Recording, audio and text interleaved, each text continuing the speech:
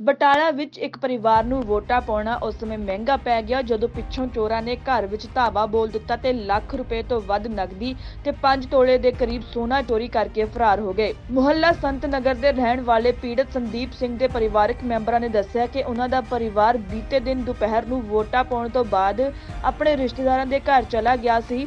ਬਾਅਦ ਵਿੱਚ ਦੁਪਹਿਰ ਉਹਨਾਂ ਦੇ ਪਿਤਾ ਜੀ ਨੇ ਘਰ ਫੇਰਾ ਮਾਰਿਆ ਤਾਂ ਦੇਖਿਆ ਕਿ ਘਰ ਦਾ ਸਾਰਾ ਸਮਾਨ ਬਿਖਰਿਆ ਪਿਆ ਸੀ।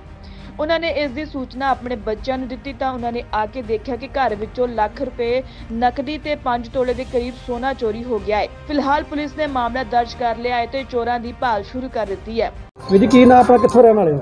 ਹਾਂਜੀ ਮ- ਮੇਰਾ ਨਾਮ ਮਨਪ੍ਰੀਤ ਸਿੰਘ ਹੈ। ਸੰਤ ਨਗਰ ਤੋਂ ਰਹਿਣ ਵਾਲੇ ਆ ਇਹ ਮੇਰੇ ਵੱਡੇ ਭਰਾ ਦਾ ਘਰ ਆ। ਠੀਕ ਹੈ ਉਹਨਾਂ ਦਾ ਇਹ- ਉਹਨਾਂ ਦਾ ਨਾਮ ਸੰਦੀਪ ਸਿੰਘ ਜੀ। ਕੀ ਮਾਮਲਾ ਹੈ? ਮਾਮਲਾ ਇਹ ਵਾ ਕਿ ਮੰਨ ਲਓ 12 ਵਜੇ ਇਹ ਵੋਟ ਪਾਉਣ ਗਏ ਸੀ। ਠੀਕ ਹੈ 12 ਵਜੇ ਲੋਕ ਲਾ ਕੇ ਵੋਟ ਪਾਉਣ ਚ ਲੱਗੇ ਆ। ਉੱਥੋਂ ਬਾਅਦ ਚੋਂ ਇਹ ਆਪਣੇ ਉੱਥੇ ਪੇਕੇ ਚਲੇ ਗਏ ਨੇ ਠੀਕ ਹੈ ਤੇ ਬਾਅਦ ਚੋਂ ਘਰ ਤਾਲਾ ਲੱਗਾ ਸੀ ਹੈ? ਤੇ ਬਾਅਦ ਚੋਂ ਤਾਂ ਇਹ ਆਏ ਤੇ ਤਿੰਨ ਢਾਈ ਤਿੰਨ ਵਜੇ ਨਾਲ ਆਏ ਆ ਆਣ ਕੇ ਦੇਖਿਆ ਸਾਰਾ ਤਾਲਾ ਟੁੱਟਾ ਸੀ।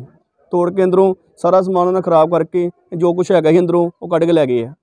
ਕੀ ਨੁਕਸਾਨ ਹੋਇਆ? ਨੁਕਸਾਨ ਹੈਗਾ ਸੀ 5 ਤੋਲੇ ਸੋਨਾ ਸੀ ਠੀਕ ਜੀ? ਐਂ ਤੇ 70000 ਰੁਪਏ ਭਰਾ ਮੈਂ ਰਾਤੀ ਲੈ ਕੇ ਆਇਆ ਸੀ ਅੱਗੋਂ 30 35000 ਇਹਨਾਂ ਘਰ ਪਹਿਲਾਂ ਪਿਆ ਸੀ ਯਾਨੀ ਕਿ ਲੱਖ ਰੁਪਏ ਲੈ ਗਏ ਨੇ ਐਂ ਤੇ 5 ਤੋਲੇ ਸੋਨਾ ਲੈ ਗਏ ਆ। ਪੁਲਿਸ ਕੰਪਲੇਂਟ ਕੀਤੀ ਪੁਲਿਸ ਕੰਪਲੇਂਟ ਲਈ 4 ਵਜੇ ਅਸੀਂ ਪੁਲਿਸ ਨੂੰ ਫੋਨ ਕੀਤਾ ਹਾਲੇ ਤੱਕ ਪੁਲਿਸ ਆਈ ਨਹੀਂ ਹੈਗੀ। ਹੁਣ ਤੁਹਾਡੀ ਗੱਲ ਹੋਈ ਹੈ ਪੁਲਿਸ ਨਾਲ ਹਾਲੇ ਤੱਕ ਉਹ ਆਂਦੇ ਕਿ ਸਾਰੇ ਥਾਣੇ ਆਓ। ਹਾਂਜੀ। ਅਤੇ ਇੱਥੇ ਜਿਹੜੇ ਮੰਨ ਲਓ ਸਾਰੀ ਦਿਹਾੜੀ ਇੱਥੇ ਮੁੰਡੇ ਬਹਿ ਰਹਿੰਦੇ ਨੇ ਠੀਕ ਹੈ ਸਾਰਾ ਦਿਨ ਨਸ਼ਾ ਕਰਦੇ ਨੇ ਨਸ਼ਾ ਵੇਚਦੇ ਨੇ ਇੱਥੇ। ਤੇ ਕੋਈ ਕੋਈ ਨਹੀਂ ਇੱਥੇ ਹੁੰਦਾ ਇਸ ਸੰਬੰਧੀ ਕੋਈ ਕੰਪਲੇਂਟ ਕੀਤੀ ਕਦੀ? ਹਾਂਜੀ। ਇਸ ਸੰਬੰਧੀ ਇਸ ਬੰਦੇ ਅਸੀਂ ਕੰਪਲੀਟ ਕੋਈ ਨਹੀਂ ਕੀਤੀ। ਅਸੀਂ ਕਾਫੀ ਜਣੇ ਇੱਥੋਂ ਮੋੜਿਆ ਇੱਥੋਂ ਬੈਨ ਤੋਂ ਪਰ ਮੁੜਦਾ ਕੋਈ ਨਹੀਂ ਹੈਗਾ।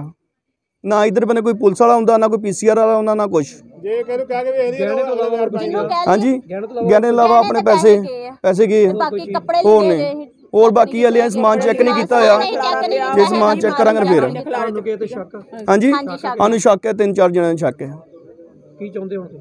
ਅਸੀਂ ਉਹ ਪੁਲਿਸ ਕਾਰਵਾਈ ਦੀ ਮੰਗ ਕਾਰਵਾਈ ਮੰਗ ਚਾਹੁੰਦੇ ਹਾਂ। ਅਸੀਂ ਆਪਣਾ ਜਿੱਦਾਂ ਸਾਨੂੰ ਇਨਸਾਫ ਮਿਲੇ ਬਣਦੀ ਸਾਨੂੰ। ਕਾਰਵਾਈ ਸਾਨੂੰ ਚਾਹੀਦੀ ਜੋ ਬੰਦੀ ਕਾਰਵਾਈ ਉਹਨਾਂ ਦੇ ਕਰੋ। ਜੋ ਵੀ ਆ। ਕਿਰਨਦੀਪ ਕੌਰ ਮੈਂ ਸੰਤ ਨਗਰ ਰਹਿਣ ਵਾਲੀ। ਕੀ ਮਾਮਲਾ ਹੈ? ਮਾਮਲਾ ਸਾਡੇ ਘਰੋਂ ਚੋਰੀ ਹੋ ਗਈ ਆ। ਅਸੀਂ ਪੇਕੇ ਗਏ ਸੀ ਵੋਟ ਪਾ ਕੇ ਅਸੀਂ ਪੇਕੇ ਚਲ ਗਏ ਆ। ਪੇਕੇ ਕਮਾਂਡ ਦੇ ਲਾਗੇ ਸ਼- ਸ਼- ਸਖਵਾਲ ਪਿੰਡ ਆ ਉੱਥੇ ਸਾਡੇ ਪੇਕੇ ਆ। ਅਸੀਂ ਉੱਥੋਂ ਗਏ ਆ 12 ਵਜੇ ਇੱਥੋਂ ਗਏ ਆ ਤੇ 3:30 4 ਵਜੇ ਅਸੀਂ ਉੱਥੋਂ ਵਾਪਸ ਆ ਗਏ ਆ। ਵਾਪਸ ਅਸੀਂ ਆਉਂਦੇ ਆ ਤੇ ਰਸਤੇ ਵਿੱਚ ਹੀ ਸਾਨੂੰ ਡੈਡੀ ਦਾ ਫੋਨ ਆ ਗਿਆ ਵੀ ਘਰ ਚੋਰੀ ਹੋ ਗਈ ਆ। ਅਸੀਂ ਚਾਬੀ ਮ- ਡੈਡੀ ਹੁਣਾਂ ਨੂੰ ਕਹਿ ਕੇ ਗਏ ਵੀ ਸਾਡੇ ਘਰ ਵੱਲ ਰਾਖੀ ਰੱਖਿਓ। ਡੈਡੀ ਆਏ ਫੇਰ ਅਮਨ ਡੈਡੀ ਨੇ ਜਦੋਂ ਆਣ ਕੇ ਵੇਖਿਆ ਸਾਰਾ ਘਰ ਤਾਲੇ ਖੁੱਲੇ ਪਏ ਸਾਰਾ ਕੁਝ ਅੰਦਰ ਖਿਲਰਿਆ ਪਿਆ। ਸਾਡਾ ਸਾਰਾ ਗਹਿਣਾ 5 ਲੱਖ 5 ਤੋਲੇ ਸੋਨਾ ਸੀ। ਉਹ ਲੈ ਗਏ ਆ ਪੈਸੇ ਆ, ਜਿੰਨੇ ਵੀ ਨਗਦੀ ਸੀ ਅਲਮਾਰੀ ਵਿੱਚ ਰੱਖੀ, ਸਭ ਕੁਝ ਤੋੜ ਕੇ ਐਲਈਡੀ ਵੀ ਲਾਉਣ ਪਏ ਆ ਐਲਈਡੀ ਉਹਨਾਂ ਕੋਲੋਂ ਲੱਥੀ ਨਹੀਂ ਹੈਗੀ, ਬਾਕੀ ਹੋਰ ਕੱਪ- ਅਹ, ਬਾਕੀ ਹੋਰ ਸਮਾਨ ਅਜੇ ਵੇਖਿਆ ਨਹੀਂ ਹੈਗਾ, ਹੋਰ ਸਾਰਾ ਕੁਝ ਸਾਡਾ ਮਤਲਬ ਕਿ ਤਹਿਸ ਨਹਿਸ ਕਰਕੇ ਤੇ ਸਾਡਾ ਘਰ ਬਰਬਾਦ ਕਰਕੇ ਚਲ ਗਏ। ਅਸੀਂ ਚਾਹੁੰਦੇ ਆ ਵੀ ਸਾਨੂੰ ਬਣਦੀ ਕਾਰਵਾਈ ਚੱਲਦੀ ਦੀਪ ਸਿੰਘ ਸੰਤ ਨਗਰ ਰਹਿੰਦਾ ਇੱਥੇ ਇਹਦਾ ਘਰ ਹੈਗਾ ਮੇਨ ਰੋਡ ਤੇ ਘਰ ਹੈਗਾ ਵੋਟ ਪਾਉਣ ਵਾਸਤੇ ਗਏ ਸੀਗੇ। ਤੇ ਇਹਨਾਂ ਨੇ ਸਾਨੂੰ ਦਰਖਾਸਤ ਦਿੱਤੀ ਹੈ ਕਿ ਇਹਨਾਂ ਦੇ ਘਰ ਕੋਈ ਮਗਰੋਂ ਕੋਈ ਨਾਮਲੂਮ ਵਿਅਕਤੀ ਜਿਹੜਾ ਉਹ ਉਹਨਾਂ ਦੇ ਕੋਲ ਗਹਿਣੇ ਤੇ ਪੈਸੇ ਚੋਰੀ ਕਰਕੇ ਲੈ ਗਿਆ ਤੇ ਆਪਾਂ ਤਸਦੀਕ ਕਰ ਰਹੇ ਹਾਂ। ਤਸਦੀਕ ਕਰਕੇ ਜੋ ਬੰਦੀ ਕਾਰਵਾਈ ਅਮਲ ਚ ਲੈਂਦੀ ਹੈ। ਉਹ ਵੈਰੀਫਾਈ ਕਰ ਰਹੇ ਹਾਂ। ਨਹੀਂ, ਫਿਰ ਮੌਕਾ ਵੇਖਿਆ, ਅਜੇ ਨਹੀਂ ਫੜਾ ਕਰ ਰਹੇ ਗੁਰਦਾਸਪੁਰ ਤੋਂ ਗੁਰਪ੍ਰੀਤ ਸਿੰਘ ਦੀ ਰਿਪੋਰਟ ਸਫਰ ਟੀਵੀ।